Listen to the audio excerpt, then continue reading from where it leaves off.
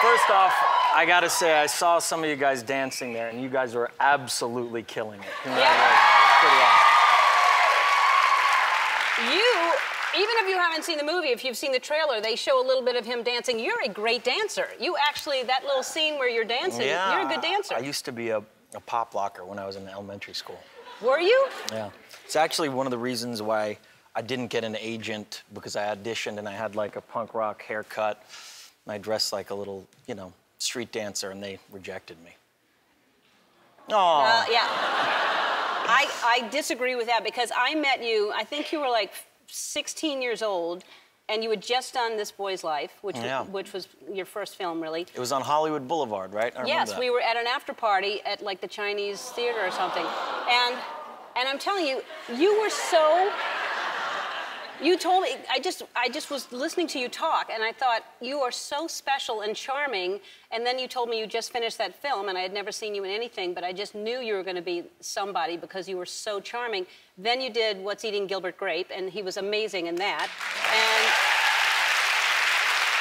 I feel like I discovered you. You feel like you discovered. I, I claim stake on you. I think I'm responsible for your, for your career. Well, I've, I've always been a big fan of yours. Well, uh, ever you. since I first met you. So Thank, thank, you. you very much. But really, you're, I mean, and this, this performance in this movie is, um, I, I really want to say it's your best performance I've ever seen, and you've Oh, done some you. great movies. But in, in this movie, your performance is outstanding. And you're Thank you. nominated for Golden Globe, well deserved.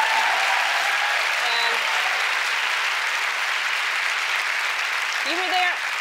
I hosted the Oscars in 2007, and you were there in the front row. You were nominated for Blood Diamond. I'm not. Mm-hmm. Um, I'm hosting again this year, and I, I pray I'm looking out there and seeing you in the audience for this because you deserve to be there. You're and, very sweet. And, uh, you or, or just come anyway.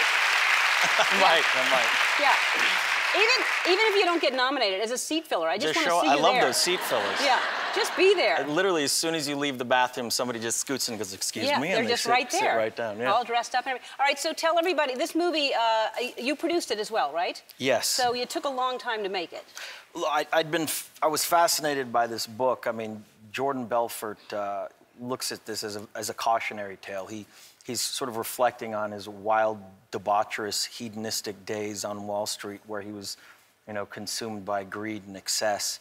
But he was so candid and honest about it, and I really wanted to put this up on screen because, in a lot of ways, it felt like a reflection of, of the, the time that we were living in. I mean, really anything goes in this film. It is absolutely wild. And, you know, Martin Scorsese and I decided to really pull no punches and really go for it. Yeah, it's. Uh, but I can't believe that everything you see, and when you see this film, it's first of all, it's so good, and and uh, you and Jonah Hill are great together. But the scene when you take uh, Quaaludes and and Quaaludes?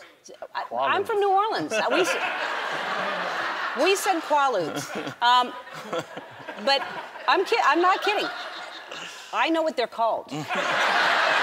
I'm from New Orleans. Um, so Quaaludes. So when you take the Quaaludes and, and you have to make your way down the steps to the car, it is, it is genius how you do that. Like, and, and how many takes did you have to do? God, we worked on that whole sequence for a week. We want one of my favorite sequences in uh, Goodfellas is where Ray Liotta's like spinning the, uh, mixing the marinara. He's doing drugs. He's got the helicopters circling around him. His his nanny wants to take her hat, and the cops are coming after him. We wanted to do kind of a film within a film, so we really worked really hard on this Quaalude sequence where essentially Donnie has a botched money deal, who's, who's played by by Jonah Hill. And to apologize for that, he gives me these incredibly powerful Quaaludes.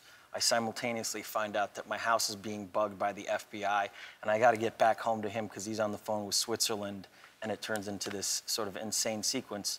And it was probably the most wild thing I've ever done in my entire life. Jonah Hill and I looked at each other and said, How are we allowed to do this? How are we allowed to get paid to do this for a living? It was just insane. It was, and, and, and just to take that much time to try to crawl downstairs and to try to open a car door that opens up and for your foot to get caught on that door every single, I mean, that just was hilarious.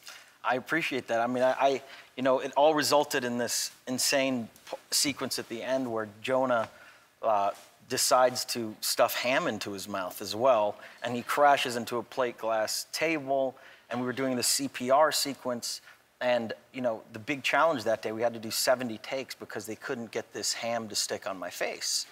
And they had to put KY jelly, and uh, there was literally a guy there behind this giant wig with a plastic spoon just flicking ham on my face all day long as I'm doing this insane sequence. But it was, it was al- almost, it was one of the most surreal things I've ever done in, in, in, in my entire career.